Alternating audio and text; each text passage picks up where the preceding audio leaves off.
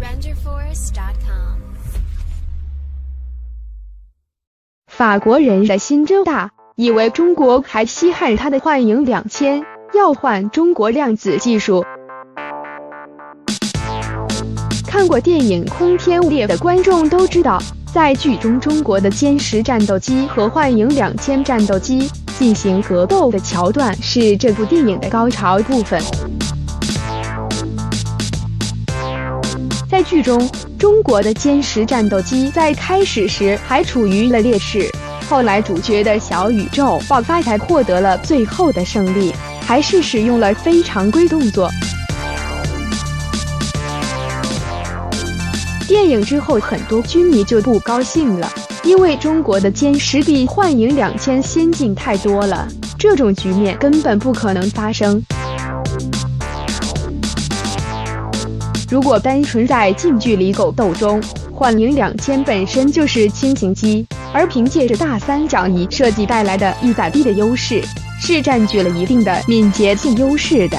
而且幻影两千是有一对小小的扰流板的。起到了一定的压力增生作用，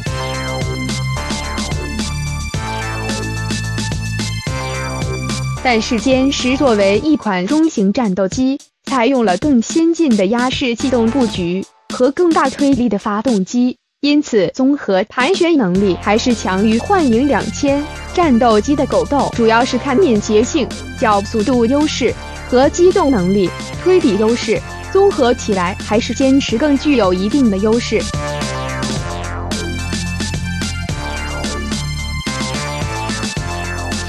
而且，要是自由空战的话，歼十凭借着先进探测设备，主要是雷达和光电探测系统和超强的火控系统，完全具备在视距外干掉幻影两千的能力。歼十战斗机的超视距能力是甩幻影两千几条街的，都不给幻影两千发挥敏捷性优势的机会。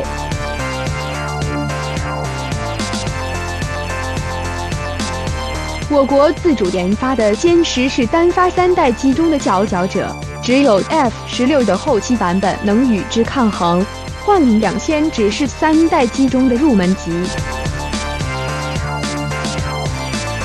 法国目前最先进的战斗机是阵风战斗机，其技术水准与我国的歼十处于一个档次，而我国的歼二十和歼三十一已经完全领先阵风一代了。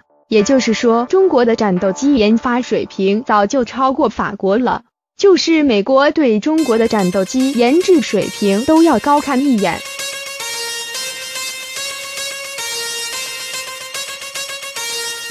世界都知道法国人幽默，最近法国还针对世界幽默了一回，他们竟然想用幻影两千战斗机的技术换取我国的量子技术，简直是不可理喻啊！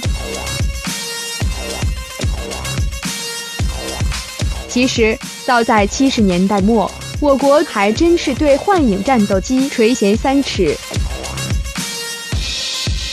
早在一九七七年。我国当时的技术水平远远的落后于西方，于是向法国提出了想购买幻影战斗机的想法，法国也是欣然接受，谁还和钱过去不去了？一九八二年，我国当时最优秀的飞行员试飞员是葛文庸和蒋德秋，还去法国专门试飞了幻影战斗机，试飞的结果十分令人折服。葛文庸说过，只要幻影两千不犯错误。我们的战斗机是没机会获胜的，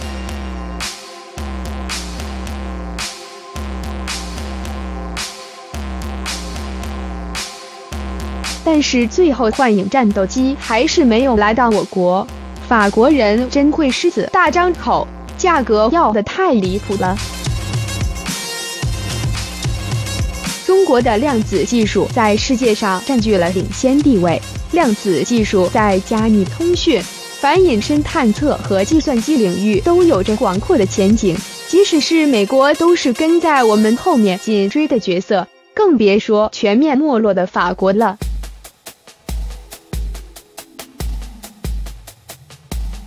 我国发射了世界上第一颗量子卫星墨子号，制造出了第一款反隐身的量子雷达。展示了世界上第一部量子计算机。目前，只有美国在量子计算机上追平了我国。在通讯和反隐身探测上，美国和我们的差距还是很明显的。